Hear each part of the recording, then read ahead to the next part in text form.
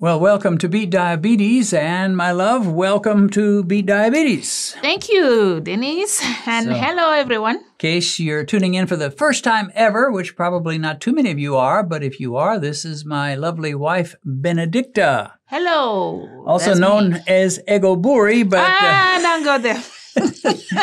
that is her uh, traditional name. Oh, dear. Now, today is Blueberry Day. Blueberries. And if you look here, we've got a plate and it's got a cover over it. And I wonder if Mm-hmm. very many from the audience can guess what might be under here. You think nobody they be guess? um, you want to keep them guessing? Nobody will be able to guess what is in there. Right. I mean, it could be anything, right? Could be anything. Could be a Pop little little mouse. Let's hope not, right? Little rat.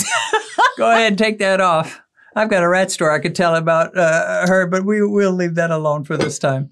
yeah. All right. Well, Actually, there is a bit of surprise. I mean, you all expected that there would be a blueberry muffin under here, but there is actually also a strawberry muffin. Strawberries. Blueberries. And we're going to give them the recipe to make blueberry muffins, strawberry muffins, raspberry muffins, no berry muffins, just whatever they like to make. yeah, all the berries muffins. Yeah, Yeah. or no berries Ah, at no all. berries at all. Now, you and I both have uh, some things in common and a lot that's not in common. But one thing we do have in common is we grew up, neither of us really eating blueberry muffins, right?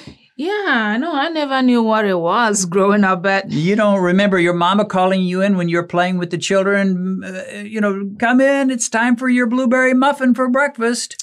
breakfast, no.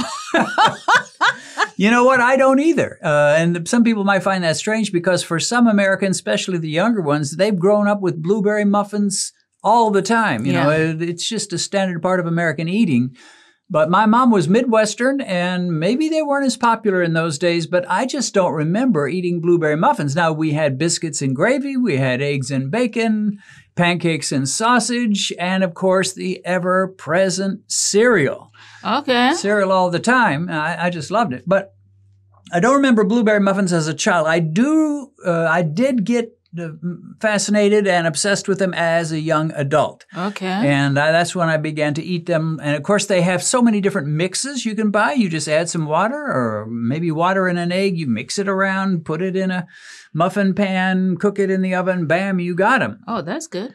So, yeah, I enjoyed those, and that was a part of my eating when mm-hmm. I was a young adult. And then I started having diabetic issues, Oh, and uh, I knew I had to go low carb. And the thing about blueberry muffins, they are monsters when it comes to sugar and carbs. okay. And uh, even the smaller ones are usually be around 30 grams of carbs, which is about candy bar level.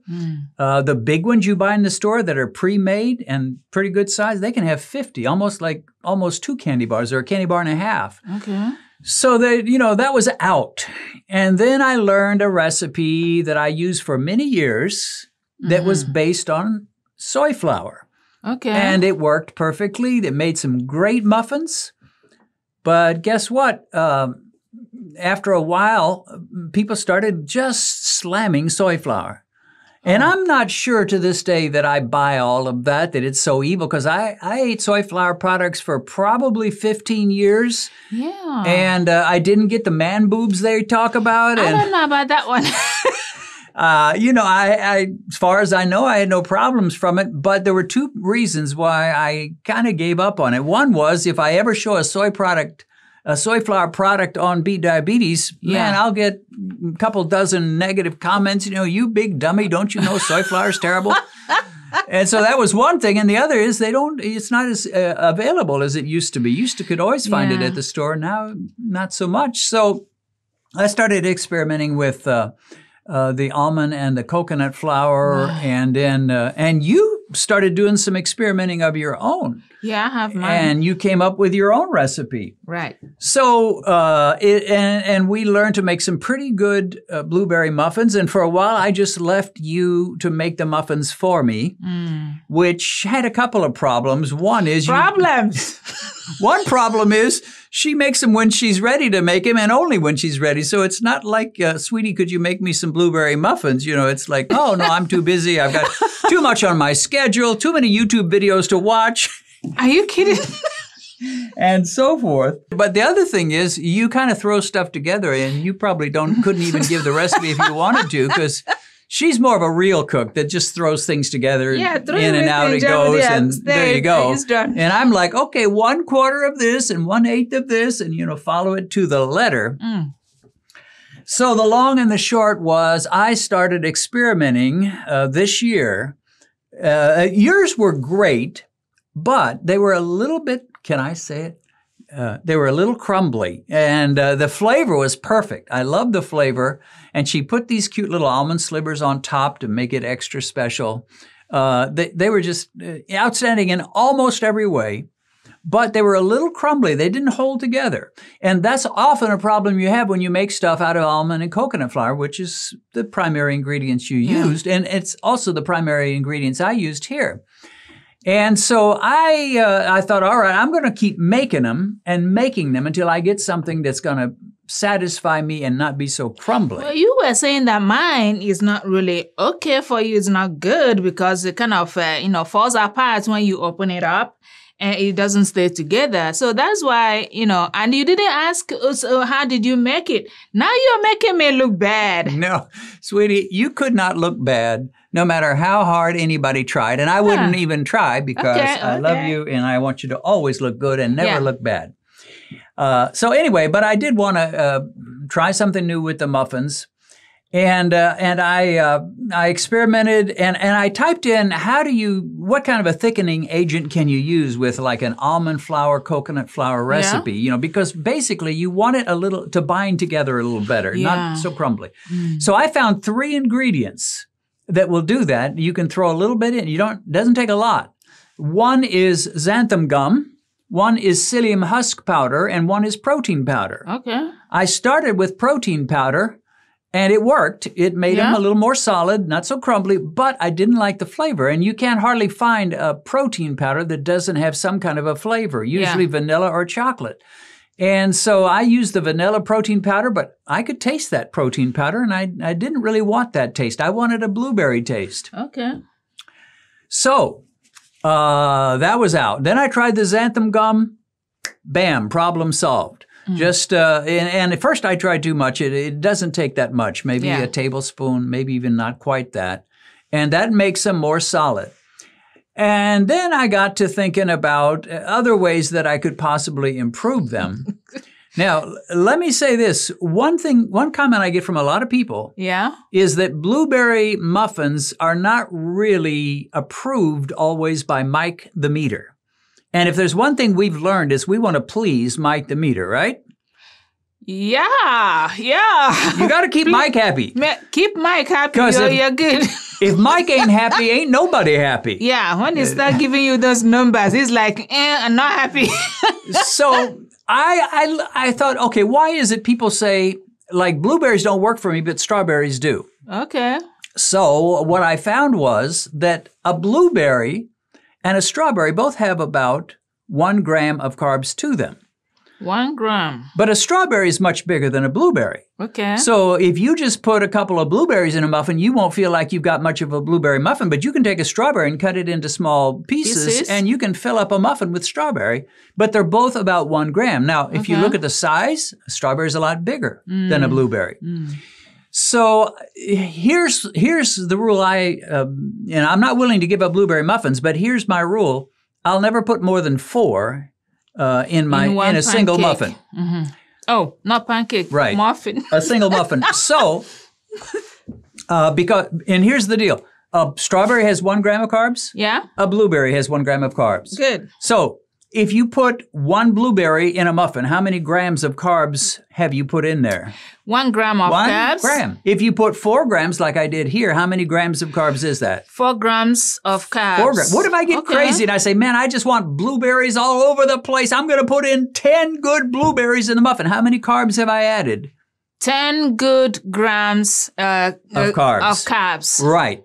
So those those blueberries really do add up, especially if you go crazy. So you just got to be self-controlled if you're going to use blueberries in pancakes, in muffins, whatever mm-hmm. it is you you can do. Okay. You just can't go hog wild. With strawberries, you got a little more freedom to to kind of fill it up with strawberry pieces. Mm. So Uh, we're going to go right now to show you how to make the basic muffin and then how you can give it more of a flavor. What I found is even though I may only put four blueberries in, if I add some blueberry flavoring Yeah. or blueberry extract or blueberry sugar-free syrup, Okay. it'll still ha- feel like a real blueberry muffin, even though it only has four instead of seven Yeah. or eight, like I might prefer. I was in Walmart the other day and I was looking at all the little extracts and those little things that you add to your foods, right? Yeah. Yeah. And I, I looked for blueberry extract everywhere.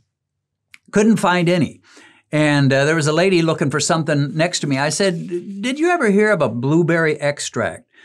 She said, No, I never heard of it. And so I thought, Well, I guess I'm not going to find any at Walmart. But I went home and got on the computer and went to Amazon. They're all over the place. Blueberry sugar free syrups, blueberry extracts from different brands. I mean, you can definitely get them from Amazon, if not from your local store. Anyway, let's go right now to the uh, the video that will show you how to make these babies, and then we'll come back for the official Queen Bee taste test. Yeah. Crack three eggs and stir them thoroughly. Add one half cup of heavy cream. Add one half cup of water. Stir the cream and the water with the eggs. Add about one tablespoon of xanthan gum or psyllium husk powder. I tried stirring the xanthan gum into the mix with a spoon, but it didn't blend very well, so I ended up using a submersible blender to thoroughly blend the xanthan gum with the other ingredients. Add baking powder and stir that in. In retrospect, I should have added the baking powder and then used that submersible blender. Add one half cup of swerve or your choice of non sugar sweeteners. Stir in thoroughly. Add one half cup of almond flour and one half cup of coconut flour. You could use all almond flour, but I think the combination makes the muffins more tasty. Stir the two flours thoroughly into the mix. I separated the dough into halves so I could make one with blueberries and one with strawberries. I mixed sugar free grape coffee syrup and sugar free strawberry coffee syrup into the two mixes. This is completely optional. You could also use strawberry extract, blueberry extract, vanilla extract, or no flavoring at all. Place the mix in a muffin pan. I used a silicone pan which enables the muffins to come out cleanly. Press two blueberries or strawberry pieces to the very bottom and place two on the top of the muffin so that it'll have the fruit throughout when you cut it in half. Bake the muffins at about 375 degrees for about 25 minutes, depending on how hot your oven heats and how dry or moist you like your muffins. When you bring the muffins out of the oven, resist the temptation to take them out of the pan immediately. Let them cool for about 30 minutes, and they'll come out more easily and be a bit firmer. Well, we're back, and it's time for the Queen Bee taste test. And of course, I'll test it as well, but I've been eating these the last couple days, so I pretty much know what I'm getting. Uh, so I'm going to ask my lovely wife to cut those in half and give me a half of each. And then we are going to try them two different ways. We're going to try them just with butter, and then we're going to try them with uh, some whipped cream. And we've got the keto version of Reddi-wip whipped cream. So go ahead and cut those in half. Okay, so what we have here is the uh, the blueberry cut in uh, half and half. so we got we're going to have part of it with butter and part with whipped cream, and then the same with the strawberry. So go ahead and take a sample of the strawberry, and then take uh, a sample of the blueberry, and tell me which one you like the best, or do you like them both equally? Okay.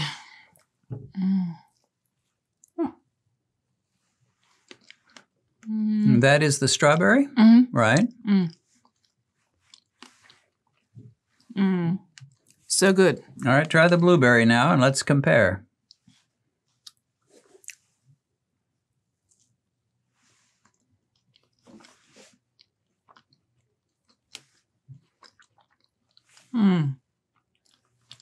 I like them equally. Equally. All right, let me just give it a quick try.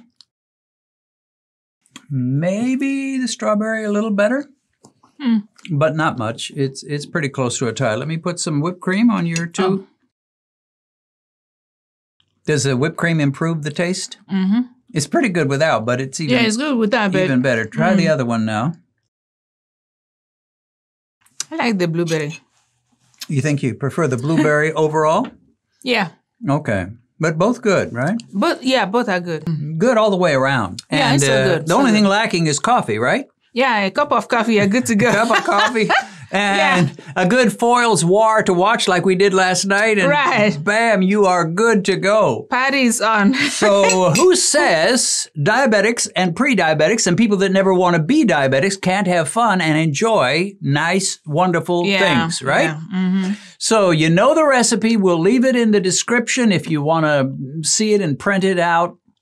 And uh, this will work for Yeah. you. This is our 2023 version. Maybe next year we'll find a better version. Who knows? Who knows? But for right now, this isn't bad at all. In fact, it's quite good. Very good. So we will see you again on another Beat Diabetes video.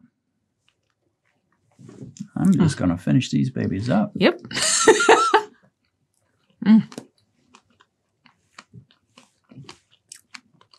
Really quite good. Mm-hmm.